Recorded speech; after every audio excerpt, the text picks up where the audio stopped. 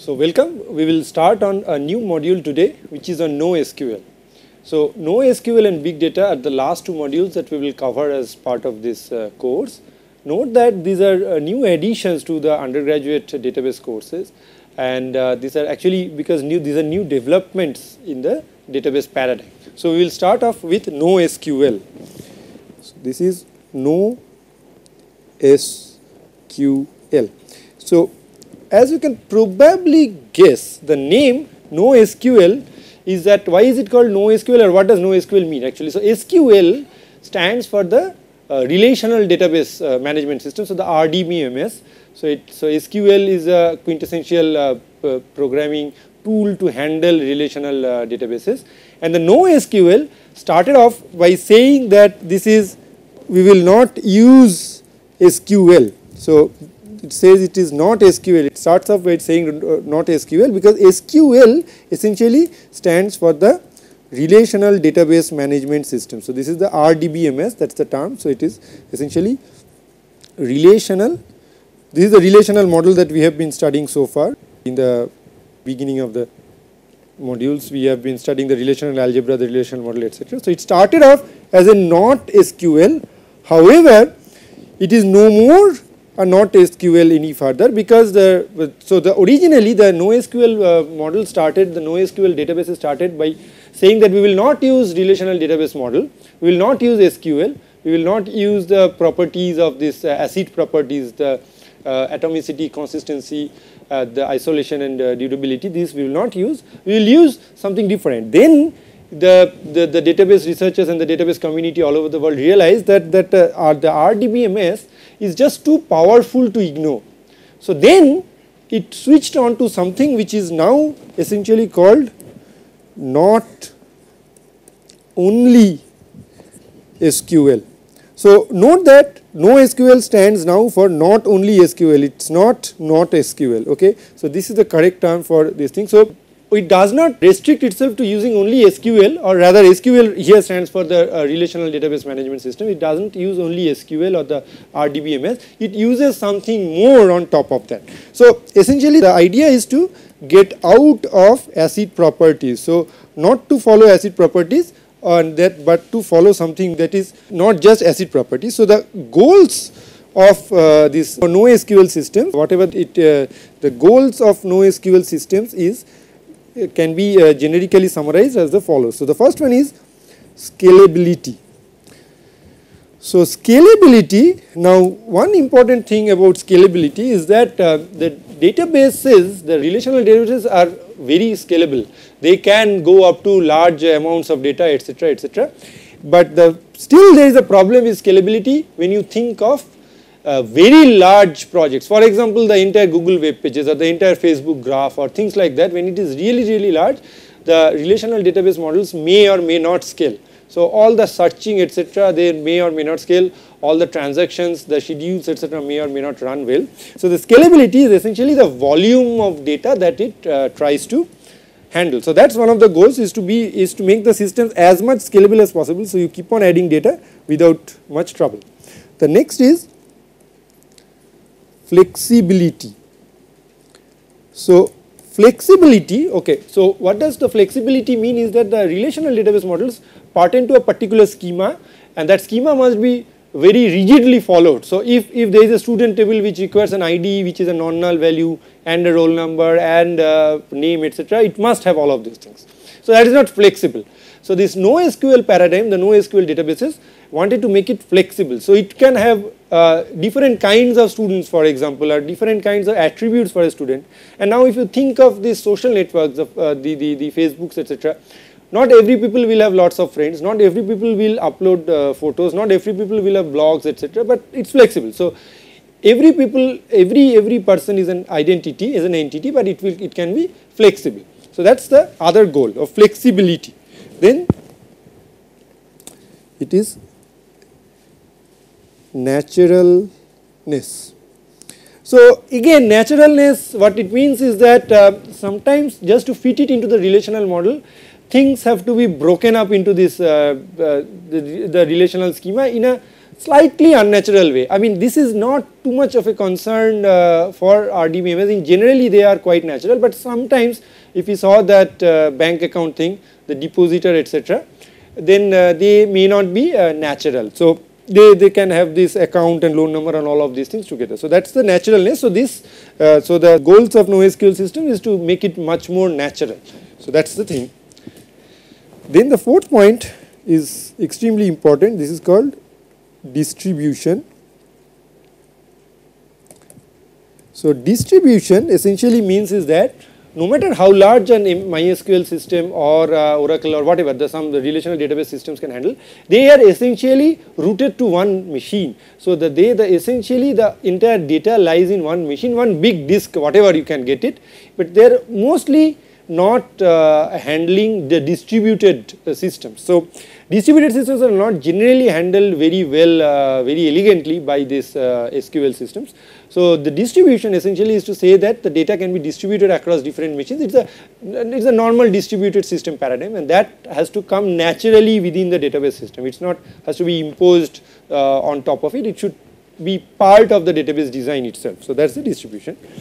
And the last thing, of course, is that uh, it has to still uh, give it a good performance. So the so the systems have to still perform very well in the sense that if I want to update something in my Facebook account or something, it should be quick, it should be almost immediate and uh, my other friends should be able to see it and so on and so forth and somebody writes a comment, I should be getting it and so on and so forth. Okay, so these are the goals of uh, the uh, NoSQL systems and however, very very interestingly, there is something in this space which is called a CAP theorem. So, a CAP theorem essentially says that there are three things. So, first is consistency. There are three properties of a system that is very desirable. Consistency. The second is availability. Availability. And the third one is partition tolerance. So partition, so how much it can tolerate partition. So that is the distributedness essentially. So this is why this is called a CAP theorem because this is C, A and uh, P. So this is why this is the CAP theorem. So essentially we want the ideal system should have all these three properties. But what the CAP theorem essentially says is that not all of, so not all of C, A, P can be satisfied simultaneously. So, not all the three properties can be satisfied simultaneously. Okay? So, that is the CAP theorem. Now, very very interestingly, we have all learned that what is a theorem? The theorem must be rigorously proved etc.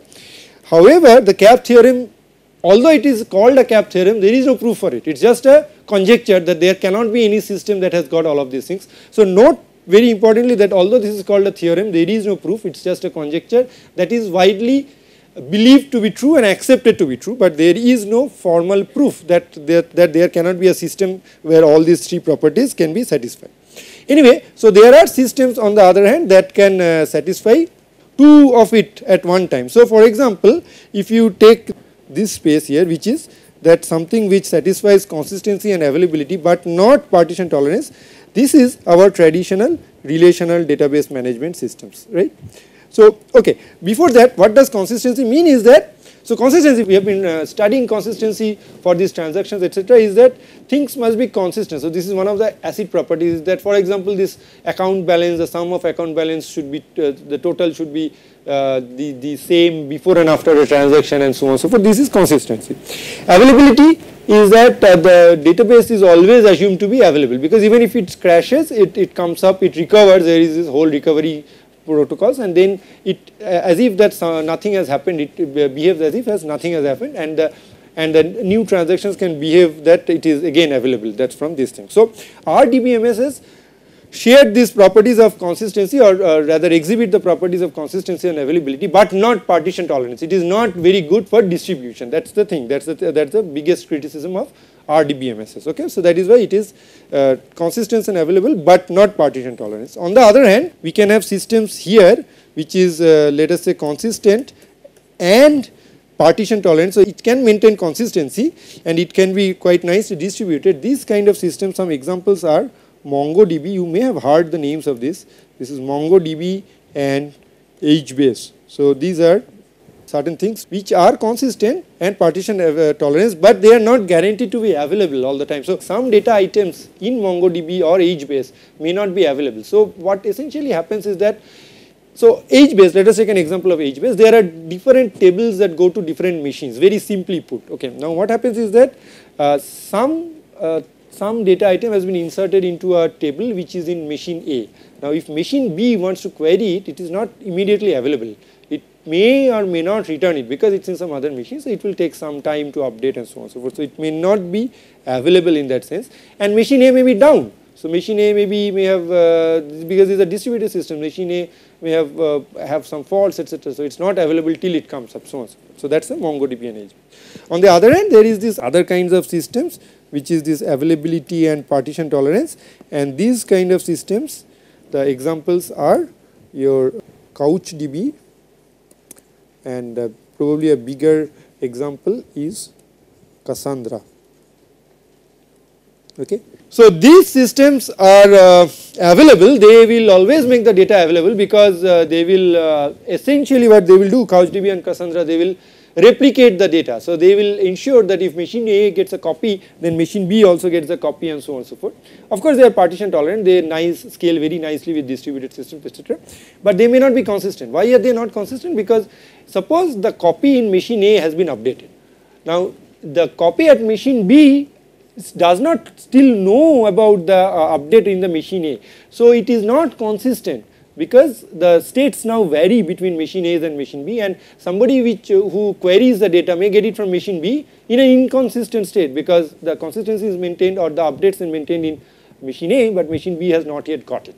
So that is the problem with all of these uh, things. So every of these systems has uh, suffered from one lack of one of the properties. So that's the famous CAP theorem. Okay. So essentially this is what the CAP theorem says that not all of this just to repeat that not all of CAP can be satisfied simultaneously. Okay. So then let us move on to the next part of NoSQL is that uh, so NoSQL started off by saying that they do not uh, care about acid properties. So what they do care about is something called the base properties. Okay. Now you must see that the the name of the properties base is essentially to counter acid and we will see what the properties are. There are three base properties. The first one is basically available. So it is saying that the uh, this is basically available okay. Now what does it basically available is that the system does guarantee availability but not uh, right then. I mean maybe it is available after some time etc etc but it is not right then but it is basically available it is mostly available that is the first property so that is basically available. The second property is called soft state okay. Now what is soft state? The soft state is the following. So the state of the system is supposed is said to be in a soft state. When it is said to be in a soft state, what it means is that the state may change without any input. So one important thing about RDBMS is, is that suppose there is an RDBMS that is uh, hang, uh, that is around and without any new query coming, without any new insertion, deletion, etc. coming, the state of the, uh, the database does not change. However, for this NoSQL system, the state may change. The state may change because it needs to make it available, it needs to make it consistent, so on and so forth. So it, it synchronizes with other machines, other distributed setups, etc., etc. So that's why the state may be changing. So what it means is essentially is that it's just in a soft state. So the state may change without apparently any input coming, without apparently any querying done. So that is why it is called in a soft state. And the third and the last property is eventual consistency. So eventual consistency, these are the, so eventual consistency is that data will be eventually consistent without any uh, interim perturbation. So what does that mean is data will be, so at some point in time data may not be consistent because as I said that machine A updates and machine B does not get it. But eventually after some time machine A will translate or will transfer this update to machine B, will let the machine B know, inform it about the update. So then machine B will also be updated. So it will be eventually consistent without I mean so without any perturbation in the sense that you do not need to give any more inputs to machine B to say that okay get uh, go and get yourself updated etc. Machine A will finally update it. So it is eventually consistent but not so one important thing to remember is that uh, these NoSQL systems are not always consistent. They are eventually consistent. So at some point in time if you take a snapshot it may not be consistent. So why is it called base properties? So these are the things it is basically available soft state and E that is why it is called base. Now this you see is just to counter the acid properties that is the thing. So very very importantly what it does is that the consistency the consistency as we understand in a database system is that it is consistency always so it is it's not always consistent. So always consistency is sacrificed. So it's not it's only eventually consistent right? So this is just to counter the acid properties